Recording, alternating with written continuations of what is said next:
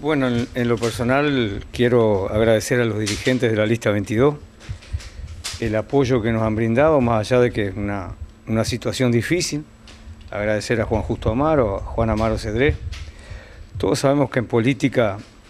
siempre existe una rivalidad que a veces eh, ha llevado que el país caiga en, circunstancias no muy especiales para la sociedad y en este caso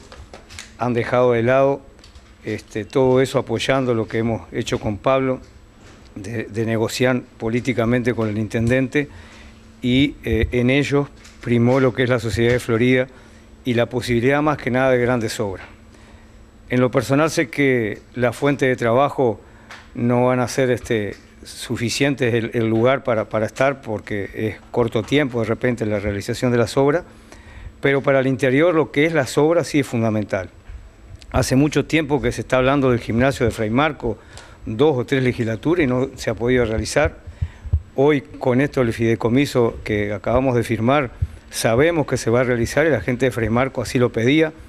No es, un, no es una opinión de Pablo y de quien habla de venir a firmar esto, sino es la opinión de la gente. En el interior hemos hecho una compulsa y, y la gente quería todo el fideicomiso por las obras. Y entonces eh, en, esto, en esta situación hay que dejar de lado los partidos políticos y más que nada pensar en eso, en la sociedad y en esas obras tan importantes que vamos a estar utilizando todos en el interior. Yo creo que, a mi entender, esto es una apertura política en Florida que tiene que seguir y que de aquí en más también se tienen que unir los demás partidos que están en, Florida en, el tema, en el sistema político, a los efectos de que la sociedad vea un cambio en la mentalidad que tengamos lo que estamos de actores políticos.